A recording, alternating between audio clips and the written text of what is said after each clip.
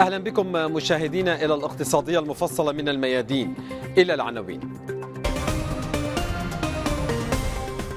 النقابات العمالية التونسية تهدد بالإضراب والتظاهر والحكومة تعد بإيجاد الحلول قبل موعد الإضراب الشهر المقبل. في مواجهة التغير المناخي لبنان يؤسس بنكا جينيا للبذور البرية ويخطط لزراعة 40 مليون شجرة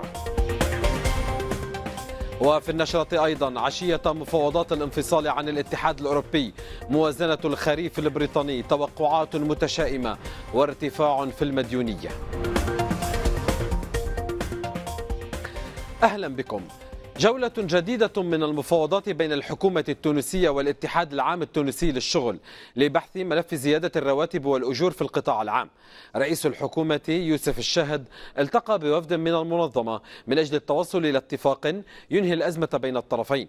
وكانت الهيئة الإدارية الوطنية للاتحاد أقرت يوم الخميس الإضراب العام في الثامن من كانون الأول ديسمبر المقبل في حالة عدم تحقيق مطالب العمال. سميح البغانمي والتفاصيل. استبق الاتحاد العام التونسي للشغل جولة المفاوضات مع رئيس الحكومة يوسف الشاهد معلنا الإضراب العام في القطاع العام في الثامن من الشهر المقبل. ورفضه مقترح الحكومة الذي يقضي بصرف الزيادة انطلاقا من شهر تشرين الأول أكتوبر عام 2017 هذا التصعيد من قبل الاتحاد العام التونسي للشغل. وصفه اقتصاديون أنه جاء في التوقيت الخطأ حيث تعيش البلاد ركودا اقتصاديا وأزمة اجتماعية. وقبيل أيام من احتضان أهم مؤتمر دولي للاستثمار تشهده البلاد. مقترح لا يستجيب للتعهدات وفي خرق واضح لمسألة الحوار الاجتماعي وتعلات تقدمها الحكومة في مجملها لا علاقة لها بعدم القدرة على الدفع. القرار كان في الهيئة الإدارية هو اتخاذ آه، مبدأ الإضراب يوم 8 ديسمبر. هوة الاختلاف إذن بين المركزية النقبية وحكومة الوحدة الوطنية بدأت تتسع. كل المفاوضات فشلت في تقريب وجهات النظر بين الطرفين. ما يستدعي اليوم وفق مراقبين ضرورة البحث عن حلول عاجلة لتجنيب البلاد موجة إضرابات واحتجاجات. اتحاد الشغل ما زال متمسكا بموقفه الأول وهو ضرورة عدم تأجيل هذه الزيادة، أعتقد أنه آه، يعني هناك أكثر من آه، فرضية ما زالت قائمة وأهمها أنه عدم التوصل اتفاق وبالتالي الدخول في تصادم ربما أول عنوان لهذا التصادم الإضراب آه، العام. الرئيس التونسي الباجي قائد السبسي أكد أن الخلاف لن يستمر وأنه سيتم التوصل إلى تسوية هذا الملف.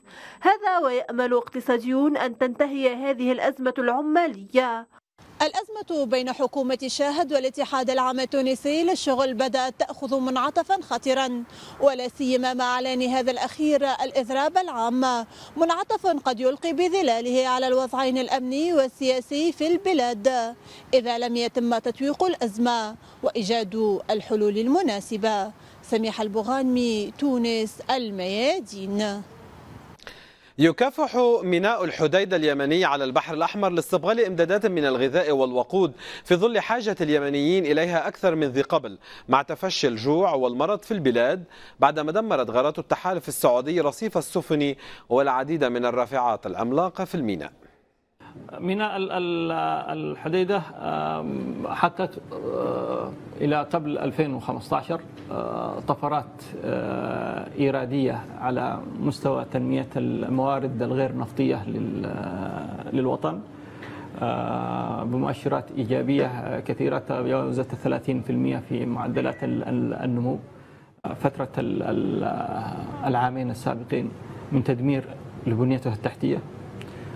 البنية الفوقية في رافعاتها الجسرية وهي أحد آه، أعمدة وأركان آه، حركة وتداول التجاري والمواد الغذائية التي تدخل لهذا لهذا المرفق.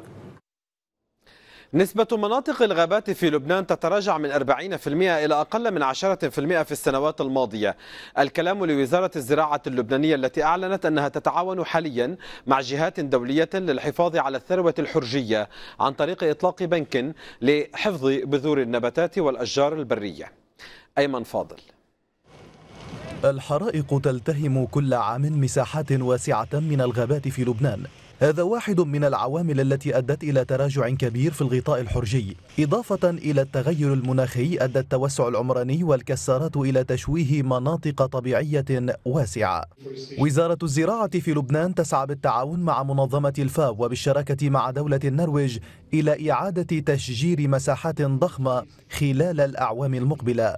نحن كوزارة زراعة عندنا كان مستودع للبذور. وال LARI عندهم آه، مركز أكثر علمي يعني gene bank مثل ما قال آه، سعادة المدير. هلأ بدنا نعمل شيء بين الاثنين يعني بدنا صحيح مستودع لأنه بس نحكي 40 مليون شجرة يعني بدنا كمية آه، بذور كثير كبيرة. المدير العام لمصلحة الأبحاث العلمية والزراعية في لبنان ميشيل فرام يؤكد أن المشروع يسعى إلى حفظ بذار أشجار ونباتات محلية مؤصلة قادرة على مواجهة الآفات والتأقلم مع التغير المناخي. بنك البذور وبنك الجينات اللي عندنا إياه بمصلحة الأبحاث هو مثل مصرف لبنان للدراهم وللمال هو مصرف لبنان لكل شيء نباتات ولكل شيء أشجار بنحفظها ل 20 و30 حتى ل 100 سنة بنضل نحفظ هالنباتات ونقدر بعدين نكترها. خاصة إنه عندنا مختبرات فينا نكترها بدون ما يكون فيها أمراض وحشرات.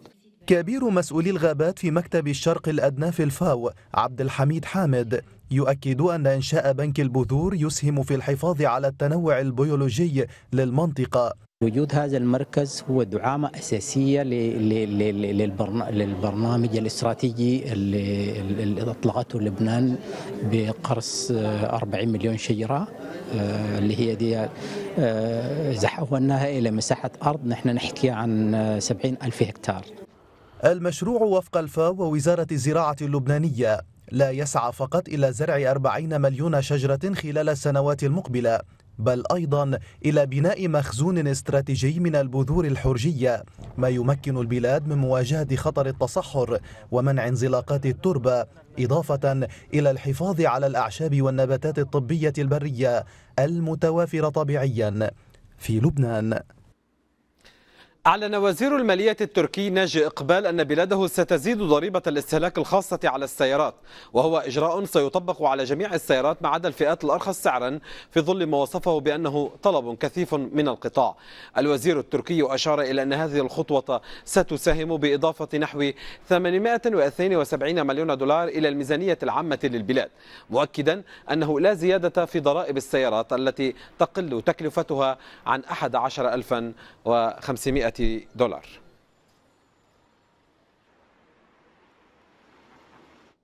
تعد بريطانيا خطة اقتصادية تتلائم مع تداعيات الانفصال عن الاتحاد الأوروبي فيما توقع وزير خزانتها فيليبا موند ارتفاع صافي الدين العام إلى مستويات قياسية في نهاية شهر أذار مارس من عام 2018 موسى سرور من لندن.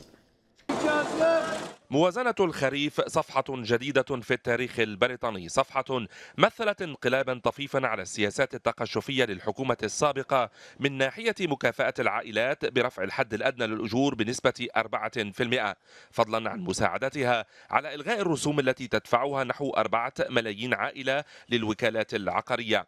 وزير الخزانة البريطاني أعلن إنشاء صندوق استثماري بقيمة 23 مليار جنيه لتحسين الإنتاجية في السنوات المقبلة عبر دعم الأبحاث والتطوير وشبكات الطرق والألياف البصرية.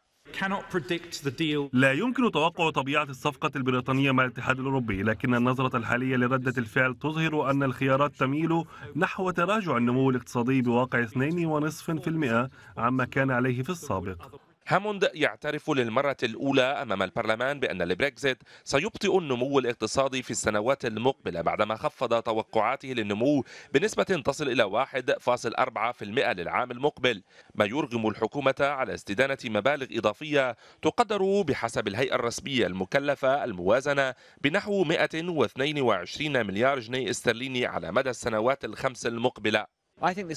أعتقد أن إعلان الخريف بعث برسالة ثقة بالقدرة على حماية الاقتصاد ووفق تقرير وزير الخزانة فإن البلاد قادرة على ذلك. بالطبع هناك توقعات بأن النمو قد يتغير في الأعوام المقبلة لكننا لمسنا قدرة الحكومة المالية على الحفاظ على الاستثمارات في المستقبل ومساعدة الأسر العاملة في الوقت ذاته. هاموند الذي يعد خطة اقتصادية تتلائم مع تداعيات الانفصال عن الاتحاد الأوروبي توقع ارتفاع صافي الدين العام إلى مستويات قياسية قد تصل إلى نحو 90% في نهاية أذار مارس من عام 2018 كما التزم هاموند خفض ضريبة الشركات من 20% إلى 17% بحلول عام 2020 وهو ما أثار مخاوف الاتحاد الأوروبي وخاصة ألمانيا من بدء سباق لاستقطاب الشركات.